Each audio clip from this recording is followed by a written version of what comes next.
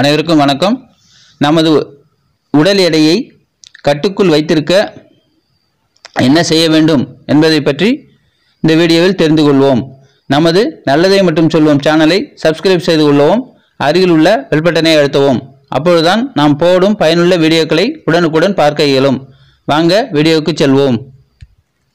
வணக்கம். இன்றைய மருத்துவ ஆலோசனை நிகழ்ச்சியில் உடல் எடையை கட்டுக்குள் வைக்கும் குடம்புலி பானம் எப்படி தயாரிப்பது என்று பார்க்கலாம். இந்த பானம் தயாரிப்பதற்கு தேவையான பொருட்கள் குடம்புலி நான்கு துண்டுகள். இது மருத்துவ குணம் நிறைந்த ஒரு வகை புலி. இடித்த பூண்டு அரை தேக்கரண்டி பச்சை மிளகாய் ஒன்று தண்ணீர் ஒரு கப் தேங்காய் பால் அரை கப் புதினா சிறிதளவு கொத்தமல்லி இழை சிறிதளவு ஐஸ் துண்டுகள் தேவையான அளவு.